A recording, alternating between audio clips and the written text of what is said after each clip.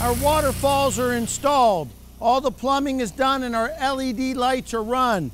We're nearing completion of our Firegear fire feature.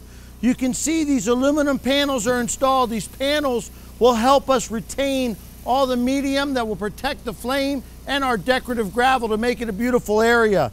These panels also give us access to our valve box. That valve box will be professionally plumbed by a licensed bonded gas tech.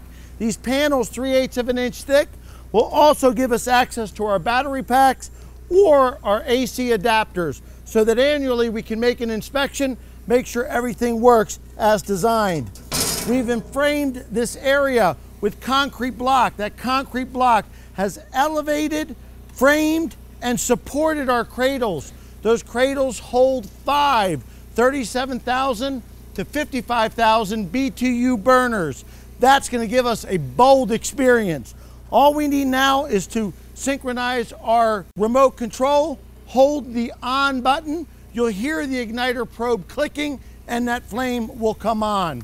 To complete our feature wall application, we've got Coastal Source Lightings, which are 100% brass fixtures running patented coastal mini connectors and lip zinc wires that are lightweight and flexible.